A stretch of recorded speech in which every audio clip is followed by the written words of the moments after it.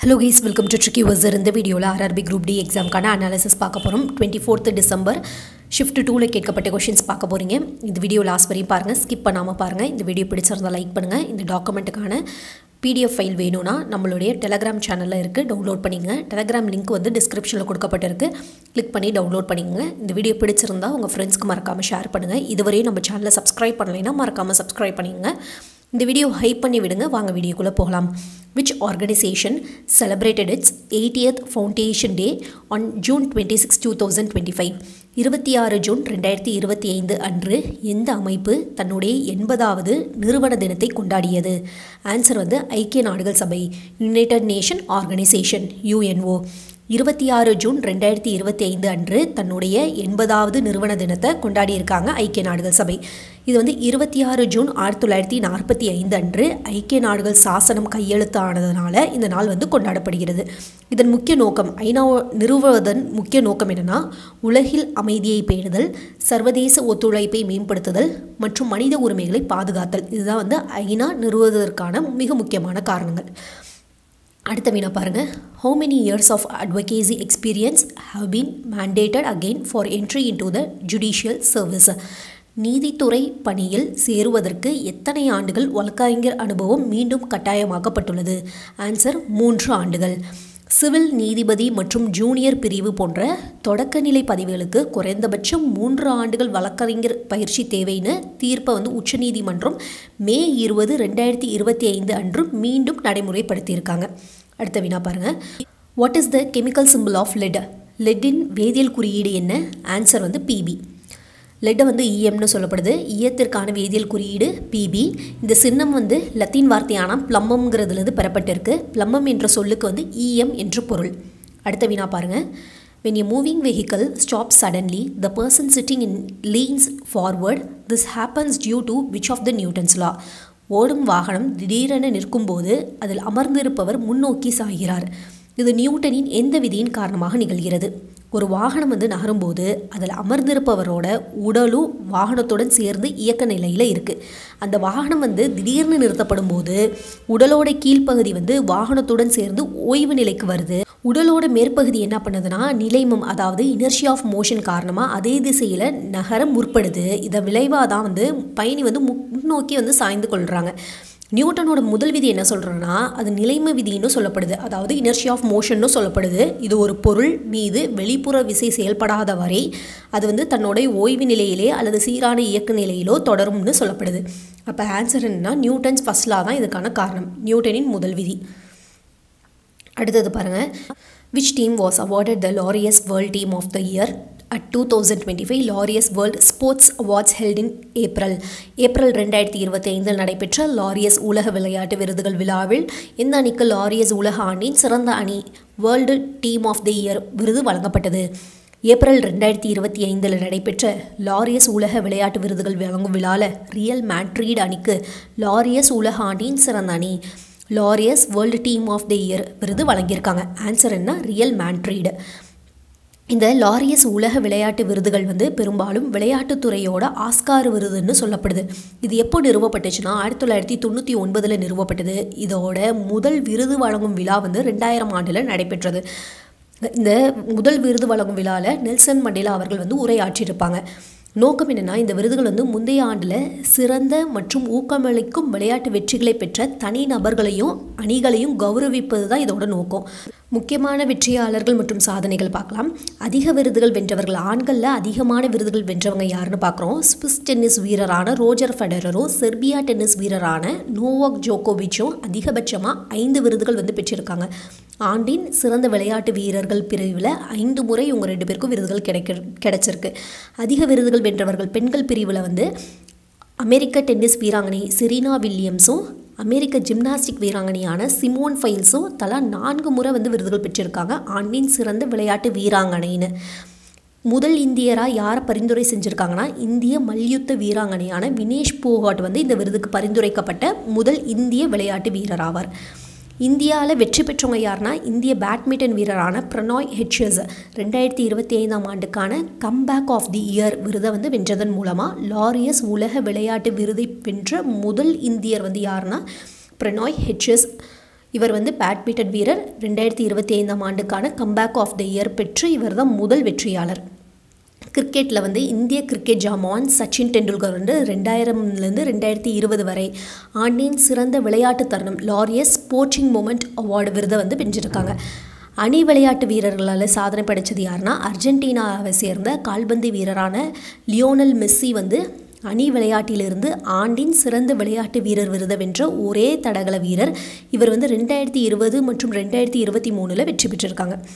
அடுத்தது பாருங்கள் for which of his novels has David Szalay awarded the two thousand twenty five Booker Prize David Szalay தன்னுடைய எந்த நாவலுக்காக ரெண்டாயிரத்தி இருபத்தி ஐந்தாம் ஆண்டின் புக்கர் பரிசை பெற்றுள்ளார்? டேவிட் சாலையோட ஃப்ளஷ் நாவலுக்காக ரெண்டாயிரத்தி இருபத்தி ஐந்தாம் ஆண்டிற்கான புக்கர் பரிசு வழங்கப்பட்டிருக்கு. இந்த நவ இந்த நாவல் வந்து ஹங்கேரியிலிருந்து லண்டனுக்கு குடிபெயர்ந்த ஒரு மனிதனோட வாழ்க்கை பயணத்தையும் பணம் மற்றும் அதிகாரத்தின் மூலம் அவன் பெறும் சமூக அந்தஸ்தையும் பற்றிய கதை இது. இந்த நாவல் வந்து நவம்பர் பத்து ரெண்டாயிரத்தி இருபத்தி ஐந்து அன்று வெற்றியாளராக அறிவிக்கப்பட்டிருக்கு. ஆன்சர் வந்து ஃப்ளஷ்யா அதே வந்து டேவிட் சாலையோட ரெண்டாயிரத்தி பதினாறாம் ஆண்டு ஆல் தட் மேனஸ் இந்த நாவலுக்காக புக்கர் பரிசு பட்டியலில் இடம்பெற்றிருந்தாங்க. அடுத்த வினா which state hosted the Khelo India Youth Games two thousand twenty five seventh edition Khelo India இளைஞர் விளையாட்டுப் போட்டிகள் ரெண்டாயிரத்தி இருபத்தி ஐந்தின் ஏழாவது பதிப்பு எந்த மாநிலத்தில் நடைபெற்றது?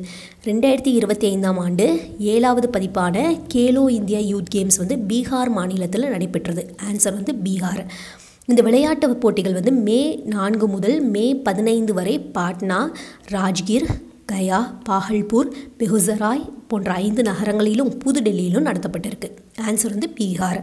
அடுத்தது who won the gold medal in the women's four hundred metre race in February two thousand twenty five by breaking her own record with a time of fifty one point one two seconds February ரெண்டாயிரத்தி இருபத்தி ஐந்தில் பெண்களுக்கான நானூறு metre ஓட்டப்பந்தயத்தில் ஐம்பத்தி ஒன்று புள்ளி ஒன்று இரண்டு வினாடிகளில் ஓடி தங்கப்பதக்கம் வென்றவர் யார்? மகாராஷ்டிராவை சேர்ந்த ஐஸ்வர்யா மிஸ்ரா அவங்க பிப்ரவரி ரெண்டாயிரத்தி இருபத்தி ஐந்தில் உத்தரகாண்டோட டேராடூனில் நடைபெற்ற முப்பத்தெட்டாவது தேசிய விளையாட்டுப் போட்டிகளில் பெண்களுக்கான நானூறு மீட்டர் ஓட்டப்பந்தயத்தில் ஐம்பத்தி ஒன்று புள்ளி ஒன்று ரெண்டு வினாடிகளில் பந்தய தூரத்தை கடந்து தன்னுடைய சொந்த சாதனை முறையடைத்து தங்கப்பதக்கம் வென்றிருக்காங்க. இந்த போட்டியில் வந்து வித்யா ராம்ராஜ் வந்து வெள்ளி பதக்கத்தையும் தேவியானி பா ஜாலா வெண்கல பதக்கத்தையும் வென்றிருக்காங்க. ரெண்டாயிரத்தி இருபத்தி ஐந்தாம் ஆண்டுக்கான இந்திய பெண்களோட நானூறு மீட்டர் ஓட்டத்திற்கான சிறந்த நேர பதிவுகளில் ஐம்பத்தி ஒன்று புள்ளி ஒன்று ரெண்டு வினாடிகள் முதல் இடத்துல இருக்குது ஆன்சர் என்ன? ஐஸ்வர்யா மிஸ்ரா தன்னுடைய சொந்த சாதனையை முறியடைத்து தங்கப்பதக்கம் வென்றிருக்காங்க. அடுத்த வினா in February two thousand twenty five which player achieve the record of one thirty two international football match wins February ரெண்டாயிரத்தி இருபத்தி ஐந்தில் எந்த வீரர் நூற்றி முப்பத்தி இரண்டு சர்வதேச கால்பந்து போட்டிகளில் வெற்றி பெற்ற சாதனையை அடைந்தார்? ஆன்சர் வந்து கிறிஸ்டினோ ரொனால்டோ.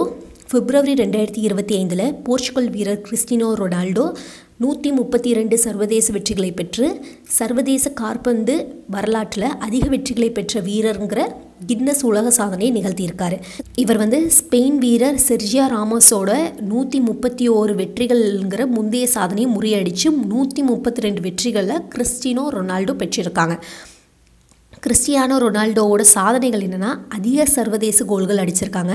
சர்வதேச கால்பந்து போட்டிகளில் அதிக கோல்கள் அடித்தவருங்கிற உலக சாதனை ரொனால்டோவிட்ட இருக்குது அவர் வந்து போர்ச்சுகல் அணிக்காக இதுவரை வந்து நூற்றி நாற்பதுக்கும் மேற்பட்ட கோல்களை அடிச்சிருக்காங்க.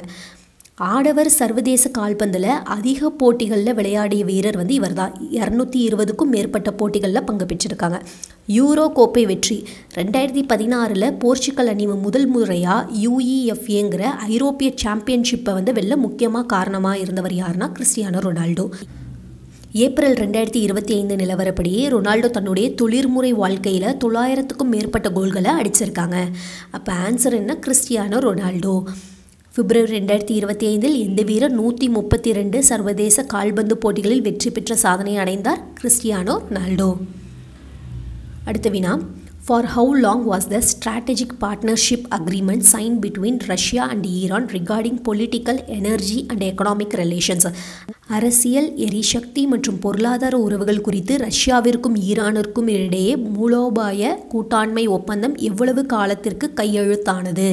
ரஷ்யாவும் ஈரானும் ஜனவரி பதினேழு ரெண்டாயிரத்தி இருபத்தி ஐந்து அன்று மாஸ்கோவில் ஒரு விரிவான மூலோபாய கூட்டாண்மை ஒப்பந்தத்தில் கையெழுத்திருக்காங்க.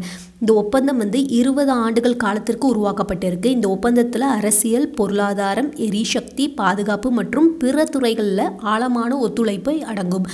அப்போ ஆன்சர் என்ன? இருபது ஆண்டுகள். அடுத்த வினா.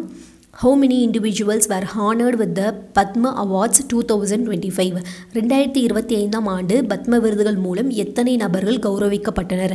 ரெண்டாயிரத்தி இருபத்தி ஐந்தாம் ஆண்டில் மொத்தம் நூற்றி முப்பத்தி ஒன்பது பேருக்கு பத்ம விபூஷன் பத்மபூஷன் பத்மஸ்ரீ உள்ளிட்ட பத்ம விருதுகள் வழங்கப்பட்டன. நூற்றி முப்பத்தி ஒன்பது பெறுநர்களில் ஏழு பேருக்கு பத்ம விபூஷன் பத்தொன்பது நபருக்கு வந்து பத்மபூஷன் நூற்றி பதிமூன்று பேருக்கு பத்மஸ்ரீ விருதுகள் வழங்கப்பட்டன. ஆன்சர் மொத்தமாக வந்து நூற்றி முப்பத்தி ஒன்பது பேருக்கு வழங்கப்பட்டிருக்கு.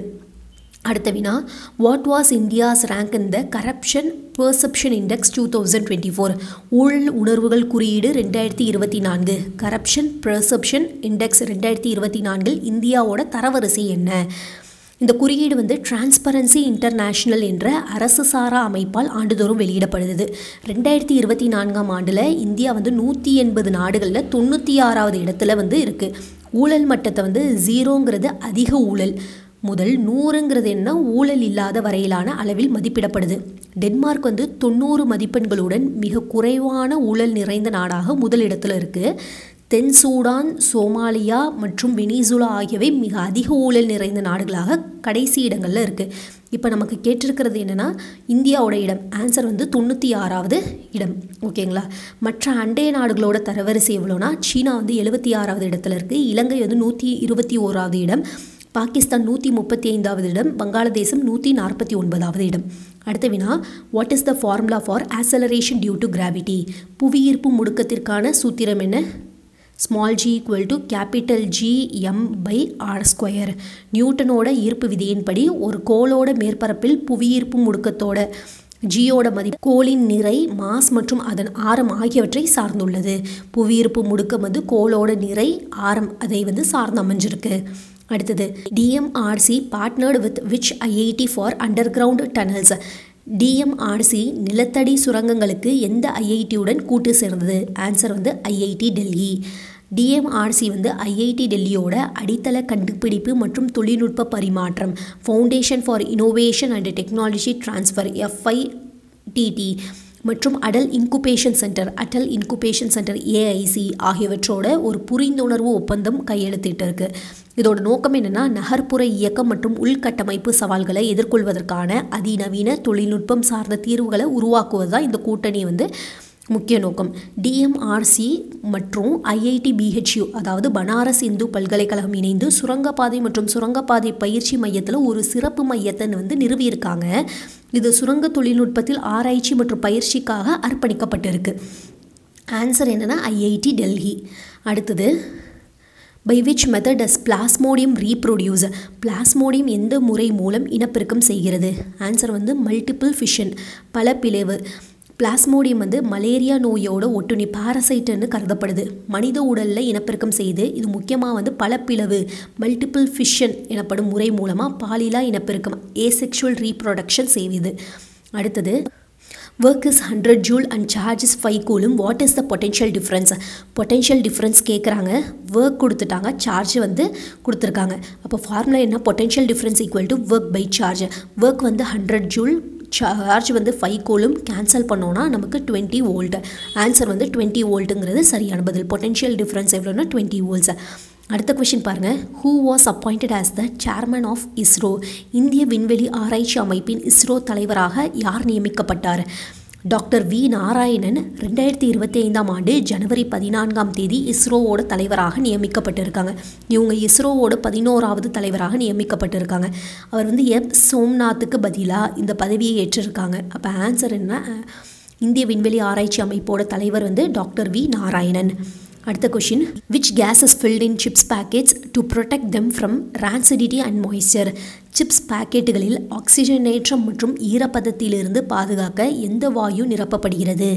உணவுப் பொருட்களில் உள்ள கொழுப்புகள் மற்றும் எண்ணெய்கள் காற்றில் உள்ள ஆக்சிஜனுடன் வினைபுரியும் போது அவை ஆக்சிஜனேற்றம் அடைகின்றன.